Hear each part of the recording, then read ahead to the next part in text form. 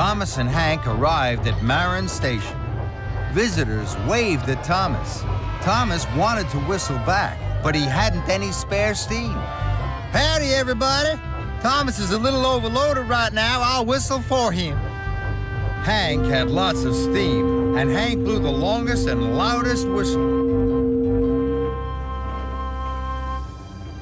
Then there was trouble. Thomas had cracked the cylinder. The train was much too heavy.